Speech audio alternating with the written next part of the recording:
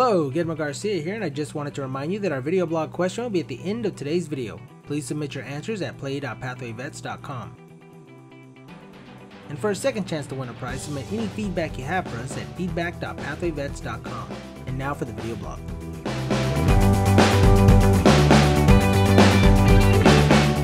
In today's video blog, I'll be covering the Apple Airport Extreme Home Wi-Fi Router.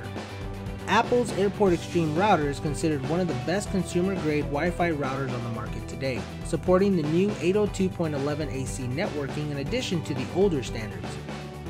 The new 802.11 AC can deliver higher levels of data rates and performance, meaning that data transfers will be much higher to support multimedia applications for multiple users connected at one time.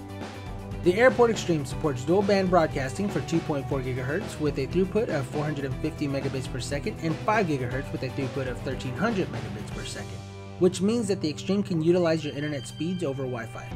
This router has 6 separate internal antennas spaced around the upper section just below the top surface, 3 each dedicated to either wireless transmission or reception. Like all Apple devices, the Airport Extreme has a simplistic, clean exterior design in a glossy white square column, standing a little under 7 inches in height with a single pinpoint LED that glows green when the device is connected to the internet. On the rear face of the router is 3 gigabit LAN ports, a single gigabit WAN port, and a USB 2.0 port. The USB port can be used to connect a self-powered external hard drive, printer, or USB hub for multiple hard drives or printers. The Apple Airport Extreme is great for any Apple enthusiast, but is also great for Windows and Android households. And now for the video blog question of the month.